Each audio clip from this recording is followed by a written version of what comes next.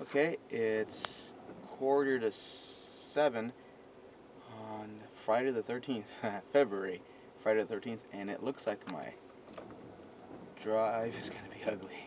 No plow, and it's about six inches of snow on the ground. So, alright, off we go.